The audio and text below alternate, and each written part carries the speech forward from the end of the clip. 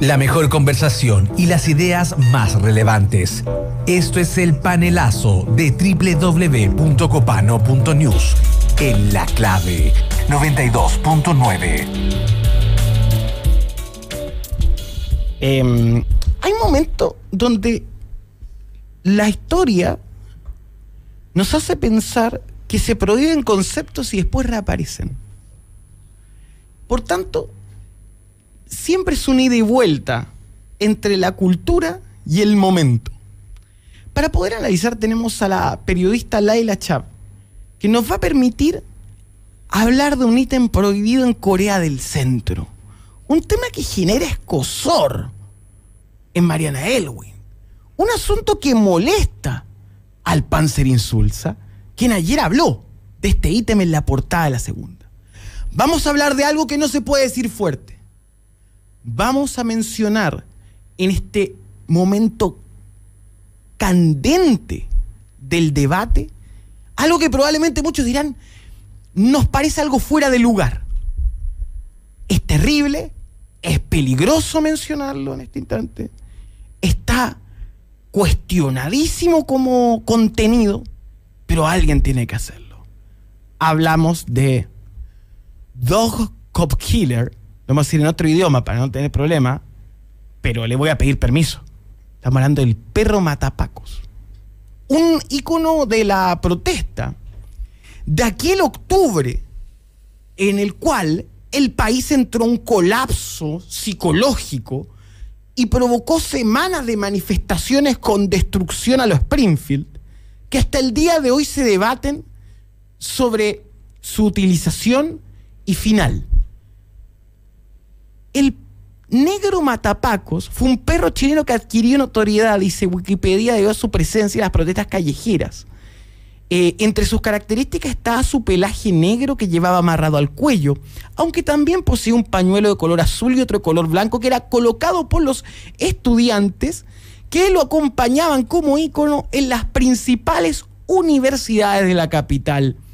Este modismo eh, que usan, que es el Paco, se ponía y se entrelazaba en este personaje. Para poder pensarlo, pensar lo prohibido, Laila Chava. Muchas gracias por el, por el aventón. Eh, vamos a incitar a la violencia en esta conversación, porque es inevitable, ¿no? De hecho, de hecho, de eso nos acusan. Eh, ayer en la portada de la segunda, del esnable portada, declaración eh, de José Miguel Insulza, el, senador Panzer, o sea, es terrible, es como haber escuchado a, a, Churchill en un minuto decir que los perritos de la reina se indicaban para la población civil descontrol, y no es así. se está declarando un discurso hecho al vacío, que es básicamente un berreteo boomer, eh, contra el gobierno en torno a eh, la seguridad. Eh, y obviamente el ataque al poder, al único poder que tiene este gobierno, que es el poder simbólico por el momento. es ahí en donde está el, preferentemente el ataque y obviamente ahora se emplea, se utiliza la delincuencia y la seguridad como las armas para, para golpear al gobierno. Eso fue lo que ayer vimos en una vuelta muy larga y muy cobarde de parte de la, de la élite política eh, en torno al tema de, seguridad. No es casualidad también que ese tipo de declaraciones, eh, de declaraciones sobre la violencia, que se estigmatice también a, un animal, a un, a un animal como, como objeto eh, dentro de este escenario. Eh, haya sido justo el mismo día de, los funerales de la sargento Rita Olivares y un día previo a lo que estamos viendo hoy, que es la conmemoración del joven combatiente. Laila, conocemos al mm, perro negro matapacos, como se le llama, como, como es su nombre también. Es como un nombre del correcamino es que también es, coyote, también es perros matapacos. También es un nombre, es un sustantivo propio, por decirlo así. Em, conocemos al, al becerro de oro que se creó durante el estallido. Pero ¿quién fue el ser vivo, el, referente en la existencia, que fue este Quiltro, ¿no? Exactamente, es un mestizo, netamente es un perrito. ¿Quién fue el perro negro matapacos? Porque el perro negro matapacos existió o es una leyenda? No, existió. no existió, existió. La leyenda dice que es un perrito que, que, está hay un estudiante que está reencarnado, que estaba reencarnado en este perrito. Es un perrito espérate, espérate, ¿a ese nivel de imbecilidad llegamos en este país? Y sí, porque era, era un perrito, francamente, que estaba en básicamente todas las manifestaciones que se producían en, en la Alameda y en el perímetro de, Espera, y se de Plaza mitificó Alameda. que era el espíritu de un estudiante. No, es- es- digamos, es una, es una, es una leyenda, no es tan poderosa, pero, pero más de alguien lo maneja. Es muy difícil que alguien que haya participado en las manifestaciones de la década pasada, más que nada en, en reclamos estudiantiles eh, y de educación, no haya conocido al perrito que, que lideraba, digamos, esta, estas Estaba en manifestaciones. las marchas. Lo que, es muy, Exacto. lo que es muy importante decir es que el perro negro matapacos no existía ya, no tenía vida Exacto. al momento del estallido social. el- Llevaba el 18 de muerto dos, más de dos años. Llevaba muerto, murió el 26 de agosto del 2017. Pero él fue ícono, no en ese momento de la historia que fue la revuelta de octubre, Exacto. sino fue... Resurgió como ícono. Sí, resurgió. Eh, Fue porque- levantado como yo creo una imagen kitsch. No, no hay más que eso. Pero, pero cuando, cuando tuvo relevancia en la existencia, como he dicho, fue durante las manifestaciones del 2011 y, y todo, y todo como la esquirla que vino después, Exacto. 2012, 2013, que vino en menor intensidad, pero es un ícono, claro, como, como símbolo durante el estallido social, pero como ente existente durante las manifestaciones estudiantiles del 2011. Exacto, y se llama Matapacos también porque siempre ladraba a, a carabineros y fuerzas especiales y en, en realidad cualquier perrito que se, que se infiltra en las manifestaciones hace lo mismo. Ya, digamos. pero como concepto, como, como tal, nunca mató a nadie en el fondo. No, claro, era... era, era ladraba. Era, Ladraba y como cualquier perro choro de la calle, ¿o no? era un animal. Ya, a ver, quiero, quiero, quiero hacer un pequeño reseteo. Durante el estallido hubo dos conceptos que quedaron en la mesa. Uno es el perro matapacos y el otro es permítanme, porque esto es público. Yo, nosotros en ese momento trabajábamos en una corporación de noticias en CNN y Televisión y nosotros vimos el Google Analytics, el Google Analytics, el sistema de medición. La gente no estaba viendo la- en, en internet, y esto te, te- te- te- te lo recuerdo, Sebastián, y, y tú puedes eh, afirmarlo.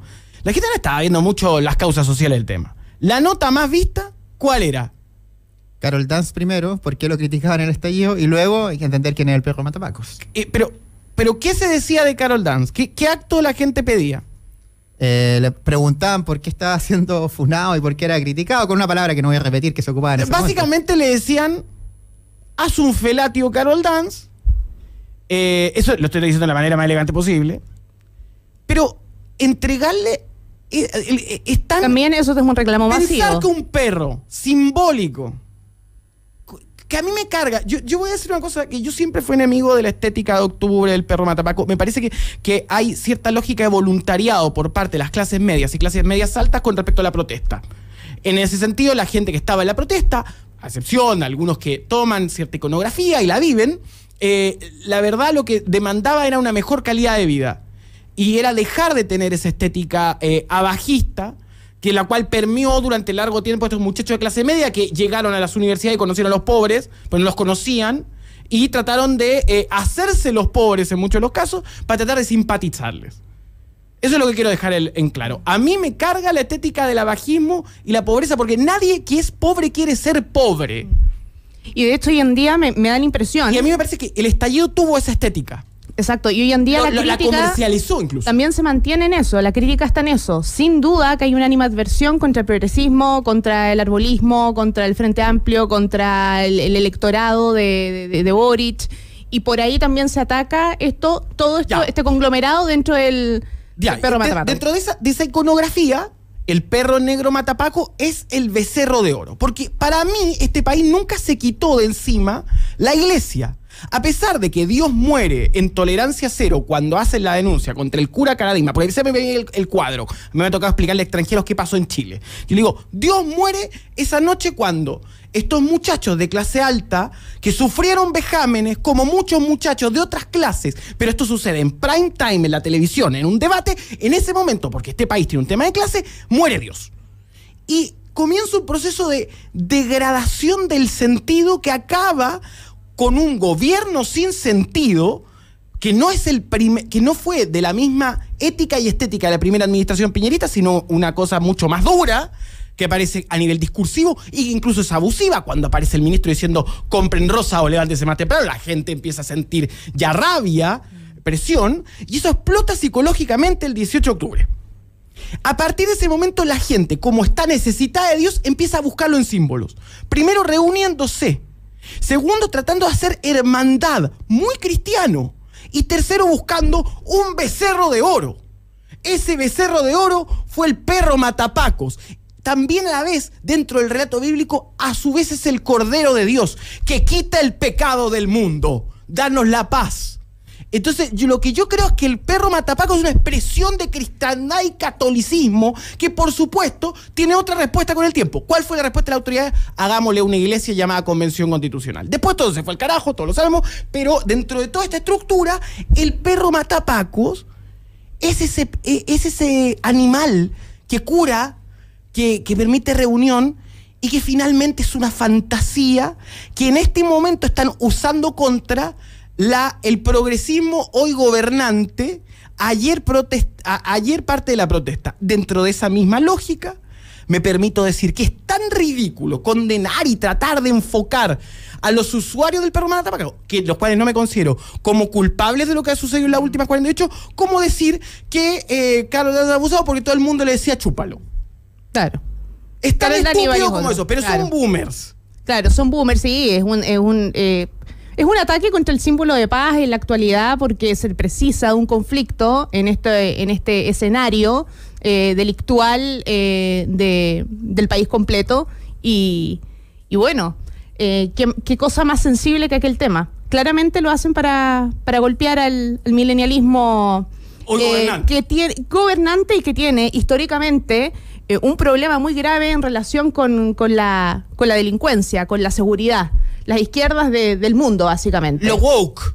Eh, hay- había un informe sobre esta semana en el The Atlantic que decían woke es otra manera de decir liberal. Sebastián Flores. No, yo, yo solo quiero hacer el hincapié en que, si bien concuerdo en que el negro matapaco fue un símbolo, decir que el negro matapaco, el perro, un perro, por cierto, es el culpable del clima de delincuencia que hay hoy día, es no entender todo el difícil contexto sociopolítico, cultural, económico que hemos atravesado luego de un estallido social, una crisis económica, una pandemia que nos ha llevado también a una situación migratoria que estuvimos conversando también. Centrarlo todo en un símbolo, como dijimos, me parece también una deshonestidad intelectual, una trampa y Una también, ¿por qué no decirlo, una marcedad? Yo creo que cuando debatamos políticamente, hablemos de políticas públicas, hablemos de contextos sociales, encontrémonos también en acuerdos para frenar todo esto, pero echarle la culpa a un símbolo que te puede gustar o no. Y, y que ya a esta altura incluso ya llega a ser ni siquiera un, un, un ícono. Es una palabra para poder culpar todo y con eso usarlo a- en contra de personas que en un contexto determinado, emocionado, sin duda, sin mucha razón en otra, eh, y, y con mucha razón en varios contextos, estaban en ese momento eh, hablando de ese tema. Pero es un icono gráfico, Nico. Y ahí la diferencia entre Carol Dance y el perro Matapaco quizás es demasiado gráfica para los boomers. Porque Insulsa dice, yo cuando lo vi me causó horror. Y cuando hablamos de Carol Dance es un concepto, a pesar de que es una persona también.